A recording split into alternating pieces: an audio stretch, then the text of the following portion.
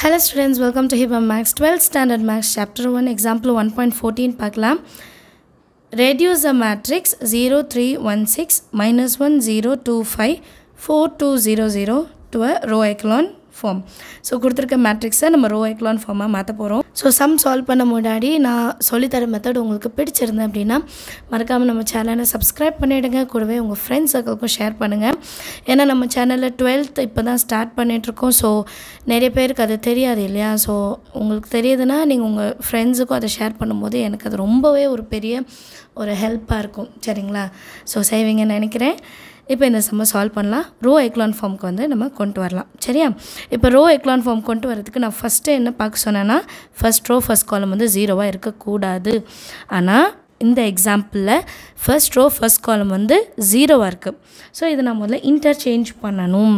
So row ஒன்னையும் row டூயும் நான் இன்டர்சேஞ்ச் பண்ணுறேன் அப்போ ரோ டூ மேலே போய்டும் ரோ ஒன் வந்து கீழே வந்துடும் சொல்யூஷனில் zero three one six minus one zero two five four two double zero இப்படி இருக்க மேட்ரிக்ஸை நான் என்ன பண்ண போகிறேன்னா R one interchange R two ரெண்டு ஆரோ போடணும். இது நம்ம அப்படியே மாற்றிக்கலாம் சரிங்களா? Minus one zero two five zero three one six four two zero zero ஓகேவா இப்போ இங்கே வந்து நான் ஜீரோ எலிமெண்ட் வந்துருச்சு. ரைட் இப்போ நான் இந்த மூணு இடத்த ஜீரோ ஆக்கணும். ஒன் டூ த்ரீ இந்த மூணு இடம் ஜீரோ ஆக்கிறதுக்கு ஃபஸ்ட்டு இடம் ஆல்ரெடி ஜீரோ ஆகிடுச்சு இப்போ செகண்ட் இடம் ஜீரோ ஆகணும்.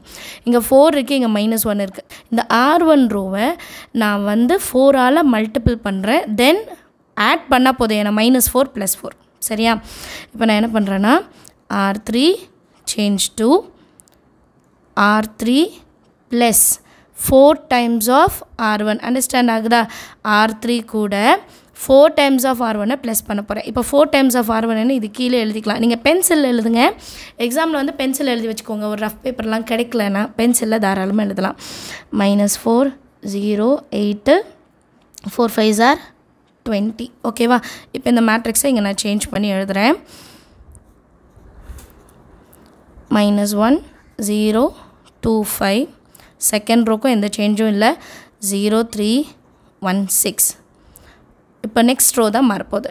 மைனஸ் ஃபோர் இங்கே வந்துருச்சு. இதுதான் இப்போ ஆர் ஒன் இந்த R one R three plus பண்ணால் போதும். Four minus four zero zero plus two two eight plus zero eight twenty plus zero twenty next மேட்ரிக்ஸை வந்து நான் கீழே எழுதுறேன். இங்கே கண்டிஷன் என்னன்னு சைடில் எழுது. நெக்ஸ்ட்டு இந்த இடம் இப்போ எனக்கு ஜீரோ ஆகணும். இப்போ இந்த இடம் ஜீரோ ஆகிறதுக்கு இங்கே டூ இருக்குது இங்கே த்ரீ இருக்குது இங்கே டூ இருக்குது இங்கே த்ரீ இருக்குது ஸோ நான் என்ன பண்ண போகிறேன்னா இந்த செகண்ட் ரோவை டூவால் மல்டிபிள் பண்ண போகிறேன் தேர்ட் ரோவை த்ரீயால் மல்டிபிள் பண்ண போகிறேன் நம்ம வந்து எலிமினேஷன் மெத்தடில் செய்வோம்ல அதே மாதிரி தான் தென் ரெண்டுத்தையும் மைனஸ் பண்ணனா எனக்கு இந்த இடம் ஜீரோ ஆகிடும் சரிங்களா? பட் புக்கில் வந்து வேறு மெத்தட் ஃபாலோ பண்ணியிருப்பாங்க ரெண்டுத்துக்குமே ஒரே ஆன்சர் தான் வரும். இது கொஞ்சம் ஈஸியாக எனக்கு தெரிஞ்சுது. இப்போ R three turns to R three தான் முதல்ல வரணும். சரிங்களா? அப்போது three times of R three minus பண்ணும். ஏன்னா ரெண்டுமே ப்ளஸில் இருக்குது two times of R two சரிங்களா? இப்போ ரெண்டத்தையும் எழுதிக்கலாம். Three times of R three இங்கே எழுதலாம்.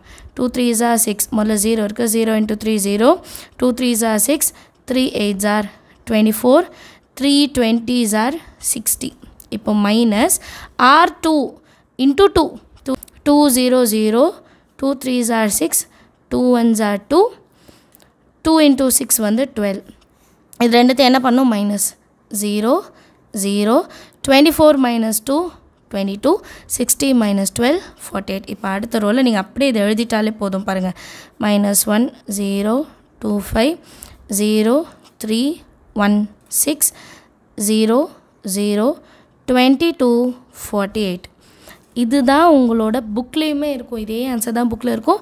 பட் அவங்க கொஞ்சம் டிஃப்ரெண்ட்டாக எழுதியிருப்பாங்க. நான் இந்த மெத்தட் ட்ரை பண்ணேன். இது ரொம்பவே ஈஸியாக இருக்கும் சரிங்களா? அண்ட் கொஞ்ச நாளைக்கு நீங்கள் இப்படி சைடில் எழுதி பார்த்துட்டே செய்யுங்க. ஏன்னா ஏதாவது மிஸ்டேக்ஸ் வர வாய்ப்பு உண்டு சரிங்களா? அண்ட் இந்த சம் எல்லாருக்குமே அண்டர்ஸ்டாண்ட் ஆயிருக்கும்னு நினைக்கிறேன் இல்லையா? ஸோ ஏதாவது டவுட் இருந்தால் என்னோட கமெண்ட் செஷனில் எழுதுங்க. மறக்காமல் சேனல் உங்கள் ஃப்ரெண்ட் சர்க்கிளுக்கு ஷேர் பண்ணுங்கள் thank you so much for வாட்சிங்